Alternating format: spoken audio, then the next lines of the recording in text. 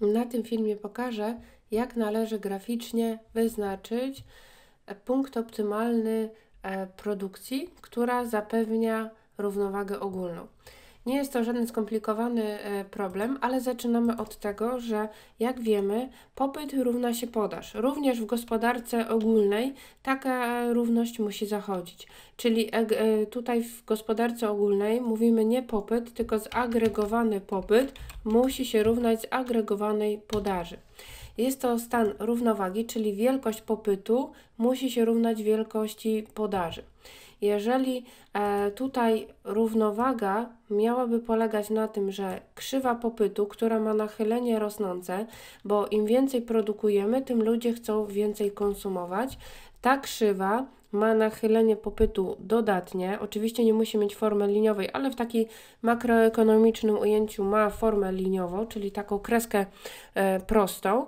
E, ona ma powiedzmy na początek jakąś e, wartość konsumpcji autonomiczną, czyli nawet przy zerowej wielkości produkcji ludzie i tak chcą konsumować. Dlatego ta kreska nie zaczyna się tutaj w tym początku układów współrzędnych, tylko, czy układzie współrzędnych, tylko tutaj od jakiejś wysokości, czyli przy dochodzie zerowym wielkość popytu nadal jest na jakimś poziomie, a wraz ze wzrostem wielkości produkcji czy tego dochodu e, mamy coraz większe wartości tego zgłaszanego zapotrzebowania. I w związku z tym, że popyt ma się równać podaży, nie ma być żadnego braku mm, w możliwości realizacji tego popytu, musimy przyjąć, że wyznaczamy sobie taką linię, czyli ona nazywana jest generalnie linią 45 stopni, ale to jest linia, która dzieli e, tutaj tą pierwszą ćwiartkę układów współrzędnych dokładnie na połowę.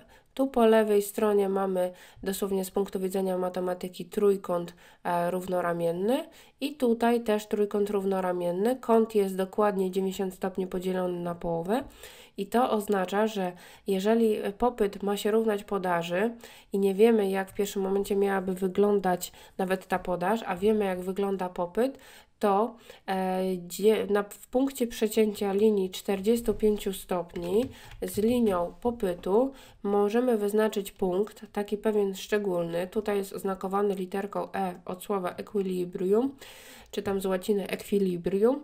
E, mamy tutaj taką szczególną własność, że to jest taka, e, taki punkt, gdzie określona, nieważna, ale teoretyczna wielkość popytu globalnego, dosłownie na tym poziomie tutaj się znajdująca, musi dawać tą samą wartość dochodu czy też produkcji, czyli określonej wielkości zagregowanego, zagregowanej podaży.